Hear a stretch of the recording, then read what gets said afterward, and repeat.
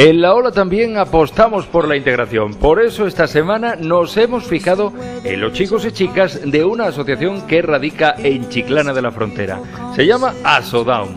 A través del programa de integración laboral dirigido por Verónica, la asociación que coordina Begoña ha logrado 10 puestos de trabajo para chicos con síndrome de Down. Así, una tienda de 24 horas cercana a la playa de la Barrosa ha contratado durante este verano a dos de estos chicos, María de los Santos y José María. Los dos realizan trabajos de limpieza y reposición en la tienda durante el mediodía. José María está muy contento por su nuevo trabajo y nos cuenta qué hace en la tienda. Aquí limpio, limpia polvo y limpia la mesa, limpia todas las cosas y también la, la, la, cosa que limpiamos nosotros todos los días y limpiamos la gallinería, colocar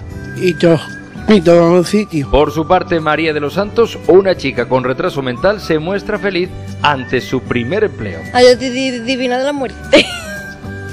porque no contrate, porque nosotros podemos, que les dan una oportunidad a nosotros. Pero como ellos dos, otros, como Kiko y Pepe, han logrado también un puesto de trabajo en una de las tiendas de animales de la cadena Ávila. Kiko con un contrato de seis meses y Pepe con uno de prácticas que le va a servir para conseguir un contrato como el de Kiko en los próximos meses. Para ambos es muy importante y Pepe solo desea que más empresarios como el dueño de esta tienda de animales se anime a dar una oportunidad a muchachos como ellos.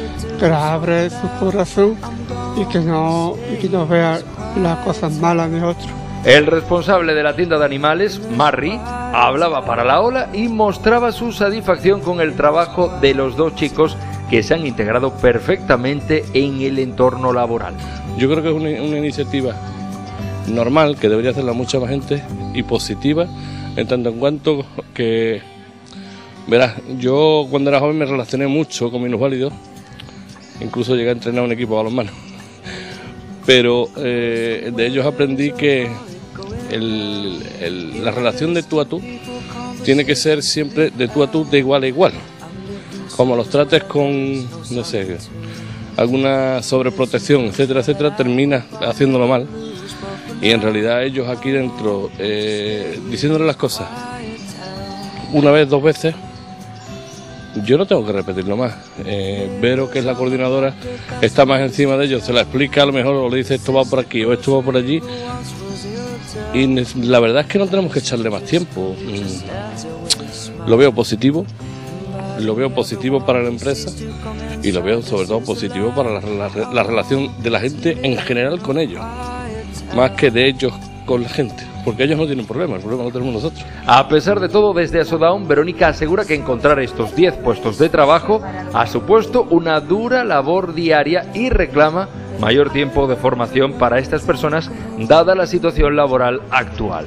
Bueno, el año pasado eran 3, este año son 10, pues nada, llamadas telefónicas, llamada una vez, eh, para explicarle el programa por teléfono en el momento que él acepte, pues que no dé una cita, o ir, ir a la empresa con Begoña cinco veces en la puerta esperando que esa persona nos reciba y nos recibirnos, pero otra vez seguir yendo hasta que ya ha contratado a esa persona.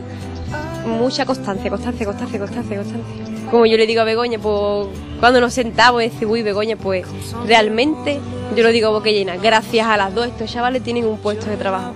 Cosa que es muy difícil, muy difícil, dificilísimo, vamos. Yo creo que ya es una de las cosas más importantes a lo que ellos pueden llegar, a tener un puesto de trabajo.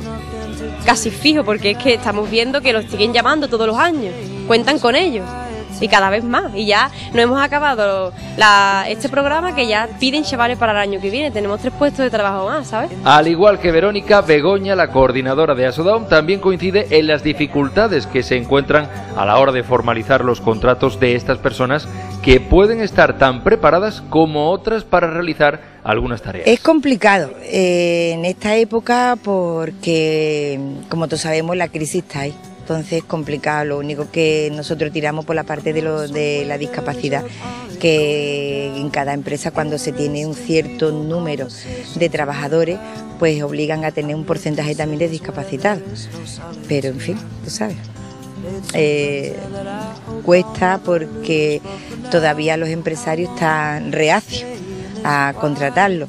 Bien que este año, gracias pues al Valentín el año pasado, al Sol Santipetri, a Ávila, a José María Ávila, pues claro, al tener esa difusión de todos estos chavales que estaban allí trabajando, pues este año sí se amplía esa cobertura, han ido ya de, tú sabes, de boca en boca, que es la mejor publicidad, y entonces pues este año sí ha habido más, más. Y es que algunos de ellos han sabido adaptarse a empleos que requieren de una gran dedicación como el de Lourdes, que durante los meses de verano ha trabajado en uno de los hoteles de la cadena Hipotels como auxiliar de camarero, una labor que ha sabido desempeñar a la perfección. Para mí, para mí significa que, que tengo una buena experiencia, estoy aquí contenta, eso es lo que a mí significa. Y que aquí, aquí me encuentro mejor y con mi compañero también, con todo. Me gusta el trabajo, me, me encanta, me encanta el trabajo.